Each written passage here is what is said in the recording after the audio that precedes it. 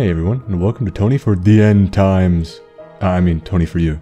Today we'll be going over the Fiends of Nocturne, the skeletal figures shown to be immensely powerful and representing the apocalypse itself.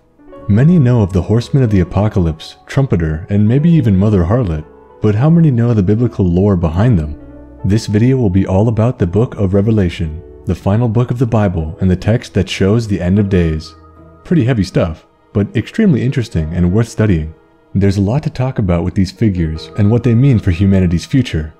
Blessed are those who read out the words of this prophecy, and blessed are those who hear it. Let's learn about the end times together, shall we? Before we get into the fiends, I'd like to talk about today's sponsor, Buyee. If you're anything like me, you like to collect stuff from Japan, whether it be old games, posters, statues, and everything in between.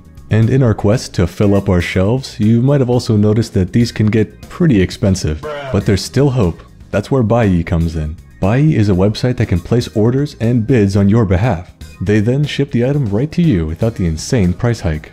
They offer tons of different storefronts like Yahoo Japan Auction, Mercari, Rakuten, and even Amazon Japan. So if you want that King Frost plush or that original copy of Strange Journey on the DS, save your money and use Buyee.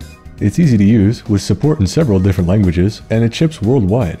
So my European and South American friends, I got you covered. This service has plenty of different payment and shipping methods to suit your individual needs. If you sign up using the link in the description below, you'll get 2000 yen or about $20 off your first purchase on Buyee. So if you're interested and want a cool 2000 yen off your first purchase, sign up using the link in the description below. Before we get into the biblical powerhouses, we need to go over the starting fiends to build up to the end of days. The first fiend we fight is Matador. For those who don't know, a matador is a bullfighter, famous in Spain and Portugal for their daring show involving the red cloth called capote de brega, meaning cloak of struggle, being shaken to aggravate a bull into charging, then quickly sidestepping the animal. The word matador is derived from the Latin word mactator, which means killer or slayer. Bullfights are often depicted as simple entertainment, but frequently the bull is killed shortly after the performance, and it was the job of the matador to kill the bull after the festivities. The star of the bullfight is called maestro, meaning master, or more frequently called Matador de Toros, meaning killer of bulls. The matador in SMT is depicted as a skeleton wearing traditional matador garb with gold signifying his maestro status. His red capote skill is indicative of his intent in the fight. Matadors usually use a pinkish cloth in the beginning of the performance and then later switch to a red when nearing the finale. Matador's capote being red means he really does intend to kill you as it's nearing the grand finale. His skill Andalusia is also a reference to the location in southern Spain where bullfighting is said to originate. Dodging a bull is one thing, but dodging a demi-fiend is a whole other story. Daisoujou, the flying skeletal monk with extremely disturbing lore. In East Asian regions, high-ranking Buddhist monks were appointed by the government to manage temples and the monks within. These officials were called sojo. In Japan specifically, the highest ranking officials were called daisojo, with some regular sojo underneath them. The title of Daisojo is not easily attained, as it was only given to monks who achieved enlightenment or Buddhahood. The Daisoujou in-game is of great importance, as he is what is known as a Sokushinbutsu, meaning Buddhist monk preserved as is. This is a process undergone by only the most devout monks that involves years of pain.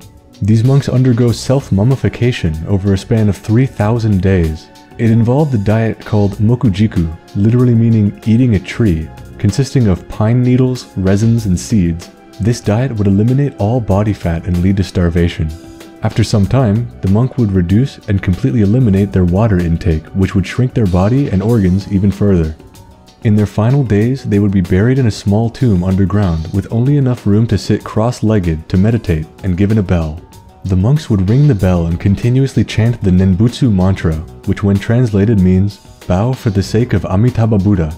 Every day a monk would walk past the underground tomb and listen for the bell. When the bell could no longer be heard, the tomb would be completely sealed. If this process is seen through to completion, it will result in a naturally preserved body, including teeth and skin. The practice is said to have been popularized by Kukai, founder of Shingon Buddhism. Kukai was a very important figure in Japanese history, taking on civil engineering tasks from the government and wrote Treatise on the Ten Stages of the Development of Mind, his magnum opus. Kukai in his later years petitioned for the establishment of chapels and was concerned with the health of the country first and foremost. After the emperor granted his request, along with the ability to ordain more Buddhist monks, he stopped taking food and water and underwent Sokushinbutsu himself. Daisoujou's design matches the mummified monk's spot on, with his bell and prayer beads and the constantly held cross-legged position.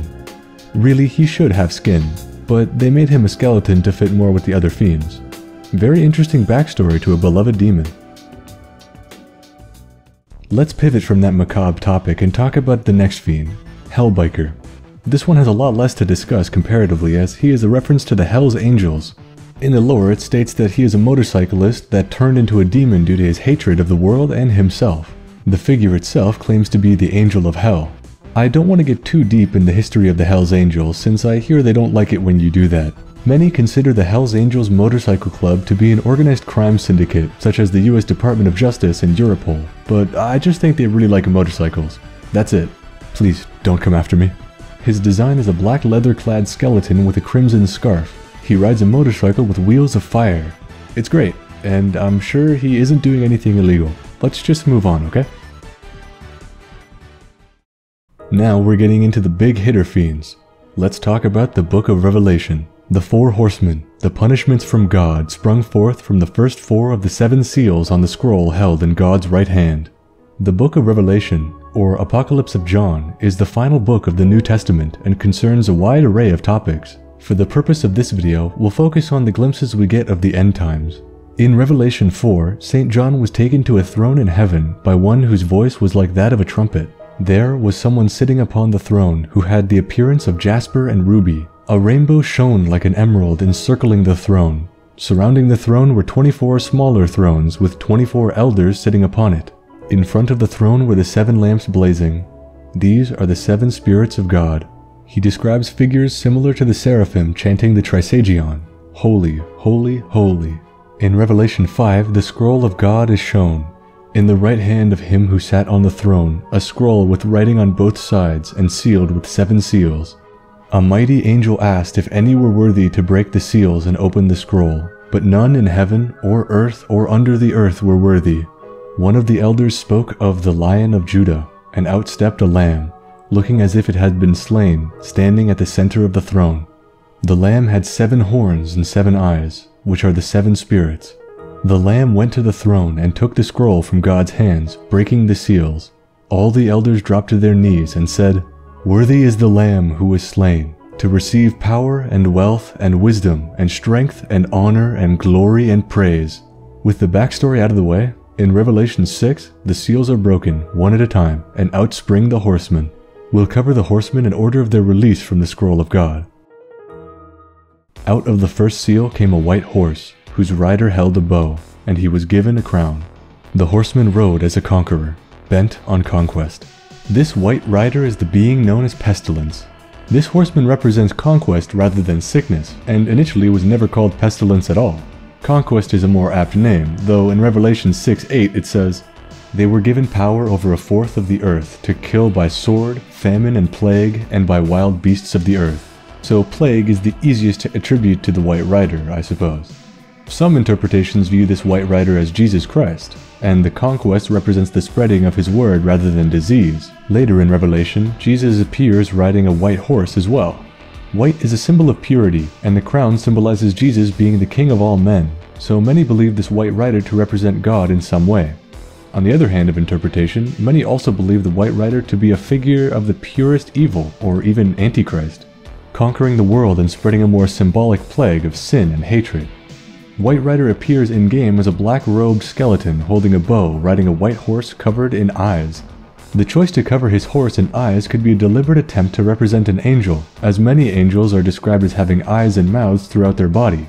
Which interpretation this White Rider in SMT has is unknown. Out of the second seal came a fiery red horse. Its rider was given power to take peace from the earth and to make people kill each other. To him was given a large sword. This red rider is the horseman known as War, and it is pretty easy to understand why. It's hard to interpret the line in Revelation 6.4 as anything other than taking peace through war. Unlike the White Rider that came before him, the Red Rider does not have any ambiguity in their role. They are evil and aim to strip the world of peace and have humans turn on one another and pit nations against each other. His aim is to spill blood, nothing more, nothing less. His fiery steed represents him in many ways, as war can be an all-consuming flame that can envelop the whole world, as has happened before and may happen again. The Red Rider is often depicted with his sword held upwards, much like a pose a general may strike to rally his troops to combat. But the Red Rider has no army specifically, as his domain is death of humans by other humans. Any blood spilled is his doing, and his influence on the world must be pushed back if we are to know peace again. Red Rider in-game is a black-robed skeleton holding a greatsword held upwards, as is common for artistic depictions of this horseman. The Red Rider is destructive and treads a bloody path. Beware. Out of the third seal came a black horse. Its rider was holding a pair of scales in his hand. This horseman is commonly known as Famine, and is the only one to speak upon being released. The Black Rider says, Two pounds of wheat for a day's wages, and six pounds of barley for a day's wages and do not damage the oil and the wine. There's a lot that can be interpreted by what little the Black Rider says here. Two pounds of wheat for a day's wages or six pounds of barley for a day's wages is not nearly enough to sustain oneself, let alone their family. The final part of the statement is of special importance, saying do not damage the oil and wine. Oil and wine are not items commonly seen by the average man in those times, and the fact the writer explicitly says not to damage them leads many to believe famine aims to value excess, luxury, and gluttony over necessity. The scales the writer carries aims to further the divide between the rich and the poor, taking what little the poor have left while seeing to the rich continue their lifestyle of gluttony and sloth. Some believe the importance of not disturbing the oil and the wine are indicative of man's faith in God, Oil and wine are sacred to Christianity, with oil being used in many rituals and wine being the blood of Christ. The horseman may take away the very basic standards of human nutrition, but faith in God will always remain. Black Rider in-game is a black-robed skeleton holding scales atop a jet black horse. Whichever interpretation you take from the Black Rider's declarations, his scales will continue to sway as time passes. Out of the fourth seal came a pale horse. Its rider was named Death, and Hades was following close behind him. Unsurprisingly, this horseman is known as Death, and specifically said to have Hell following close behind him. It also says, they were given power over a fourth of the earth to kill by sword, famine and plagues, and by wild beasts of the earth. You might have also noticed that Death is the only horseman not to hold anything in his hands, but rather what can be interpreted as the entrance to the underworld constantly following him. His weapon is Death itself, and to him was given power over a quarter of the earth, and sees to the casualties of his fellow horsemen. This Pale Rider may have the role of killing, or simply just to collect the souls of the dead for judgment. His horse being described as pale signifies the look of a body when life is drained from them. Their skin turns pale as their soul leaves them to be collected by the Pale Rider. Death is potentially the most passive horseman, with the most important role, as he is mentioned in other apocryphal texts as the collector of souls specifically for God to collect on Judgment Day for those unworthy to be cast into Tartarus, overseen by Uriel, and the worthy to be let into the kingdom of heaven. The Pale Rider in-game is a black-robed skeleton holding a scythe atop a pale grey horse. The choice to give him a scythe is obviously a nod to common depictions of the Grim Reaper, also referred to as Death, reaping the souls of mortals to be judged. This is the only horseman whose grasp is unavoidable. Ask not for whom the bell tolls, it tolls for thee. Mother Harlot or the Scarlet Woman. One of the seven angels who had the seven bowls came and said to me, Come, and I will show you the punishment of the great harlot, who sits on many waters, with whom the kings of the earth committed fornication, and the inhabitants of earth were made drunk with the wine of her fornication. So he carried me away, in the spirit, into the wilderness, and I saw a woman sitting on a scarlet beast which was full of names of blasphemy, having seven heads and ten horns. The woman was arrayed in purple and scarlet, and adorned with gold and precious stones and pearls, having in her hand a golden cup full of abominations and the filthiness of her fornication. And on her forehead a name was written, Mystery, Babylon the Great, Mother of Harlots, and of the abominations of the earth. In many accounts throughout the Bible, it can be understood that Babylon is a place of great sin, showing up constantly in many books within Jewish and Christian canon as a den of blasphemy, adultery, and all manner of sin kings believing themselves above God and committing great sin, with God striking against them on many occasions. Sodom and Gomorrah, the razing of the city from the Persians, and the slaughter of the people from the Medes are just some accounts of how justice was sent to such a horrific city. In many accounts, from Isaiah and Jeremiah, they refer to the city of Babylon as a she. Even in Psalms, Babylon is referred to as a woman and prophesying her destruction, with the Babylonian slavers asking the captive Jews to sing a song. When requested, the Jews reply with, Daughter of Babylon, doomed to destruction. Happy is the one who repays you according to what you have done to us. Happy is the one who seizes your infants and dashes them against the rocks. Babylon is so evil that the people and even God will be happy when the city and all within it are killed. Babylon was once the ruler of the known world and crushed many other nations in pursuit of power, holding nothing sacred, not the lives of the people or God. The entity shown in the book of Revelation is the personification of the city and the personification of power through sin itself. The woman riding on the back of the beast is Babylon, and the many crowned heads are the kingdoms who sided with her in spite of knowing her evil for personal gain. They are all drunk with the wine of her fornication, becoming one with the harlot and embracing the sin of greed and throwing away virtue. Her portrayal as a beautiful and lavishly dressed woman represents the ultimate temptation to denounce your values with the promise of power. But the beast she rides is explained by the angel. He says, The beast that you saw was and is not, and will ascend out of the bottomless pit and go to perdition. Perdition is a commonly used word for destruction, or even hell. The horns are explained by the angel, saying, the ten horns which you saw are the ten kings who have received no kingdom as yet, but they receive authority for one hour as kings with the beast. These are of one mind, and they will give their power and authority to the beast. These will make their war with the Lamb, and the Lamb will overcome them. In Shin Megami Tensei, Mother Harlot is a beautifully dressed woman in scarlet and purple with a skeletal face. She holds a golden chalice steaming with unknown substances and rides upon a beast with seven heads and ten horns. The beast's blank eyes represent the will of each head willingly given over to the harlot riding them, despite each wearing the crown of a king. One of my favorite demons ever in the series, and perfectly designed to biblical scripture. Last of the fiends is Trumpeter. The Trumpeter himself is but one of seven angels whose trumpet will sound, signifying the apocalypse. You may have already noticed that the seven angels were mentioned before, with voices like trumpets, and how they each represent the breaking of a seal on the scroll of God. The number 7 repeats quite frequently in fact. The number 7 represents completeness and perfection. The heavens and the earth were created in seven days. There are seven days in a week with Sabbath being held on the seventh day. There are seven deadly sins and seven great virtues. In the beginning, God the Father, the Son, and the Holy Spirit were spread to the four corners of the earth, adding up to seven. And in the end times, the seven angels will herald the coming calamity, with four devastations and three great woes, adding up to seven. Now that we know the significance of the number, we can understand that the trumpeter is not a unique angel, but one of many. Each time the trumpet sounds, a new calamity will befall the earth, and assumedly, this trumpeter may be the final one, signifying the seventh seal of the Scroll of God being broken. In-game, Trumpeter is a skeletal figure dressed in a black and white robe with pure white wings holding a unique instrument which I suppose is a trumpet. The choice of black and white coloring signifies the holy angel heralding the end times as a will from God, being pure white, and the destruction of humanity being sinful black. Beautiful depiction of the angels tasked with heralding the end. That covers each fiend. Let me know your personal favorite in the comments down below. Mother Harlot was so amazingly depicted, along with her interesting lore, that I can't help but think she's my favorite.